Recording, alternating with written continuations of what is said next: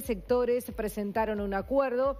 El Partido Socialista, Casa Grande, País por Más, Izquierda Abierta y la 5005 presentaron Frente Futuro, la creación de este espacio político y de ello vamos a hablar con el secretario general del Partido Socialista, Gonzalo Civila. Buenos días, gracias por acompañarnos. Gracias por invitarnos.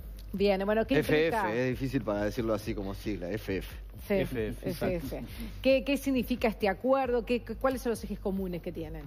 Bueno, lo primero es que no es un acuerdo solo electoral. Eh, si bien eh, se concreta en un momento electoral y a veces en los momentos electorales también es difícil pensar eh, en acuerdos que vayan más allá de la etapa electoral, nosotros lo, estamos haciendo con el propósito de que perdure, que sea una coordinación política permanente. Sentimos que tenemos afinidades en temas bien importantes y por eso firmamos ayer un documento que contiene una serie de compromisos eh, que básicamente pasan por, por esas señas de identidad que compartimos, ¿no? O sea, primero una visión profundamente democrática de la sociedad y del país. O sea, nosotros creemos que, que los cambios en el país este, pasan por hacer más ancha la democracia que tenemos, hacerla más profunda, eh, construir una democracia donde quepamos todas y quepamos todos y no solamente algunos.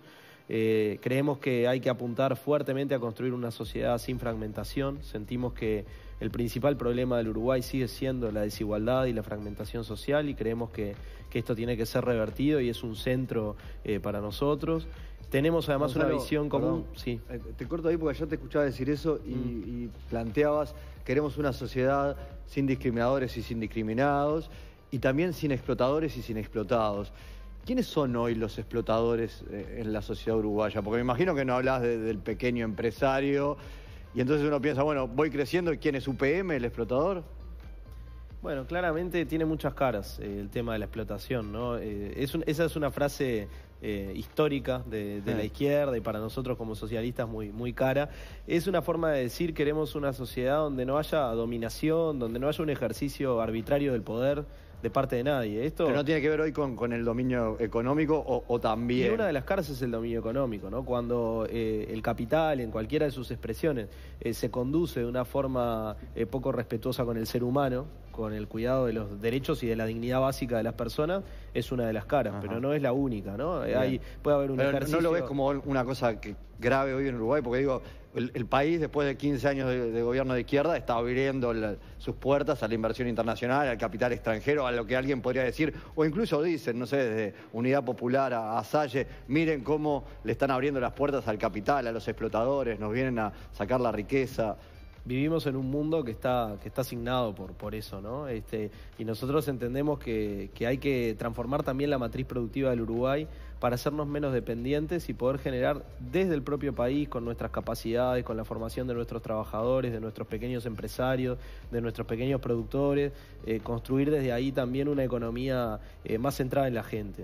Este, esto no quita eh, descartar la inversión extranjera. La inversión extranjera en un mundo tan transnacionalizado como este es parte de la, de dinámica para, para, del mercado. para pelear contra eso en la realidad en la que estamos? Porque también a lo largo de estos 15 años se ha aumentado la concentración de la tierra. Como decís, eso va en el sentido contrario de hacer una democracia eh, más bueno, eso por ejemplo, postulado del Partido Socialista. Eso es una preocupación, por ejemplo, para nosotros, ¿no? Los procesos de concentración de la tierra, los procesos de concentración de los medios de producción en general, o sea, cuando son pocas empresas o, pocos espacios económicos los que controlan eh, el, poder económico en general, eso hace que una sociedad sea menos democrática. O sea, la democracia eh, pasa por un poder político que, que, se ejerza de una forma más libre y más horizontal y también por un poder económico eh, más democratizado, ¿no? O sea que cuando hablamos de democracia hablamos de democracia económica, social, cultural, Hablamos del tema ambiental, ahora que vos traías también la UPM, esto ha sido parte de la polémica, ¿no?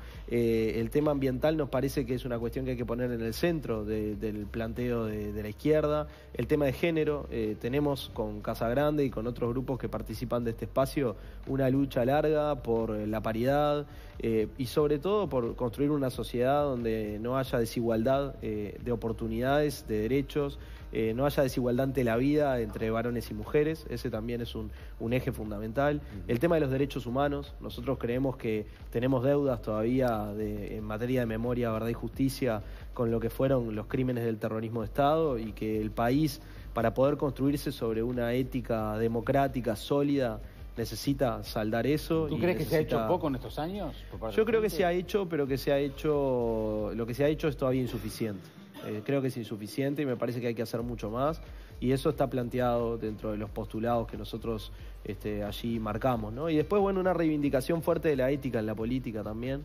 Nosotros este, como, como partido venimos de una, de una historia, de una tradición donde también eh, la política y la ética se entienden como dos cosas inseparables y coincidimos también con los compañeros de este espacio en hacer un, énfasis fuerte ahí. ¿no? ¿En qué lugar, eh, particularmente para el Partido Socialista y esto que manifestás, queda el episodio de Vivian Trías y las revelaciones que hubo en el último tiempo? Bueno, eso creo que es una discusión histórica eh, que lo que me parece... Es un referente también eh, en cuanto a esto que decís de la ética ¿no? y de la construcción del ideario y después se supo esto. Siempre fue un referente político y ético para el Partido Socialista, Vivian Trías. Lo que eh, claramente se instaló es un debate sobre su vínculo con, en este caso, eh, los, checos, digamos, durante eh, la etapa de la Unión Soviética. Eh, ese vínculo, obviamente, estuvo este, muy signado por un contexto histórico bien diferente al actual, donde se daban vínculos cruzados este, con, actores extranjeros. Nosotros creemos que, fue un, vínculo básicamente marcado por el aporte de alguna producción intelectual, de análisis, de coyuntura, de insumos que, no fue fría. No, no. No, no, eso nosotros de los, de los materiales que tenemos, lo que hemos podido este, acceder, lo que hemos podido leer, eh, no se deriva eh, un, vínculo de esas características. Eh, este, ¿Cómo les afectó la ida de Álvaro García al Partido Socialista? Y la ida de cualquier compañero del partido impacta y si es un compañero que además tiene 37 años de partido como tenía Álvaro este, y una eh, posición pública también y de gobierno relevante durante varios años, eh, sin duda que, que nos apenó. Este, pero bueno, la decisión de Álvaro tiene que ver con un camino que él decidió tomar. Él entendió que tenía que jugar un rol en la campaña electoral diferente al que podía tener en el partido. Ustedes saben que nosotros definimos nuestras listas al Senado, a diputados en elecciones, o sea, no, no las arman cuatro dirigentes, hacemos una elección de toda la militancia y allí definimos las listas y bueno, este, las listas estaban configuradas de determinada manera. Este, Álvaro entendió que tenía que jugar otro rol, que, además eh, iba en línea con un discurso diferente, con un planteo diferente. Eh, siempre dijo respetar el, proceso del partido, lo ha dicho públicamente después también de esta decisión que tomó, pero eh, bueno, fue una decisión personal. Este, todos tenemos también por ahí diferentes enfoques respecto de bueno, de cómo se toman las decisiones este, a la hora de, hacer política y de hacer política en momentos electorales. Eh, allí tendremos nuestras diferencias, pero, pero bueno, Álvaro emprendió otro camino y, es un camino que también le suma al frente. Em, volviendo un poco a, la parte más teórica e histórica que vos planteás en cuanto a lo que es hoy la voluntad de profundizar la democracia como el eje que mueve al Partido Socialista, ¿no? Pienso en esos tiempos y también se planteaba el socialismo como eh, una opción a la democracia liberal. ¿Cómo es que ha confluido eso? ¿Tenemos que entender el, el socialismo del siglo XXI como esto o como Venezuela? Yo creo que como, como este concepto de profundización y expansión de la democracia. Emilio Frugoni, que fue nuestro fundador, eh, decía, y lo decía en 1910, digamos, ah. que, el socialismo era eso, no era la expansión de la democracia a la esfera económica, a la esfera social, a la esfera cultural. O sea, no pensar solamente la democracia como un conjunto de derechos civiles que son muy importantes, como el ejercicio del voto, eh, como la crucial libertad de expresión, la libertad de asociación, un montón de derechos políticos clave, sino también pensar la democracia como la construcción de una sociedad donde el poder no sea prepotente, digamos, ¿no? Y esto, esto pasa por la economía, pasa por la cultura, pasa por el cuidado del ambiente también, porque se depreda y se depreda mucho, a veces este, en una lógica voraz de acumulación. Y bueno, eso entra en contradicción con un sistema como el sistema en el que nosotros vivimos. O sea que es un cuestionamiento muy de fondo. Ah, ¿qué, Uruguay aquel de principio del siglo mm. pasado? ¿no? Qué producción intelectual impresionante, sea por el lado que sea. Tremendo, tremendo, sí. Gonzalo Civila, muchísimas gracias por acompañarnos. No, gracias a ustedes por la invitación.